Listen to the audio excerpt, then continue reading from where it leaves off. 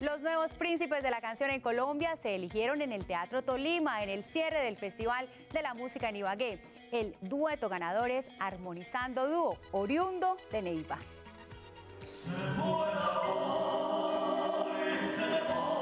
Oriundos de Neiva, la agrupación Armonizando Dúo se ganó el corazón de los colombianos y logró el título de nuevos príncipes de la canción.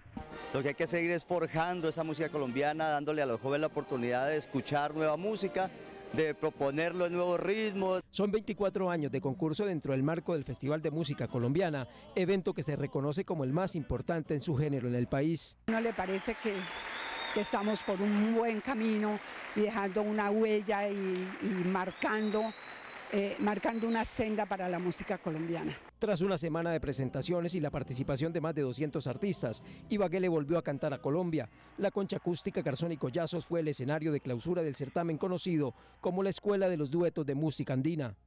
Es un festival que realmente eh, es un boomerang es una catapulta para los duetos y nosotros estamos agradecidos. El festival rindió homenaje al maestro Rodrigo Silva de la agrupación Silva y Villalba, quien falleció a comienzos de año.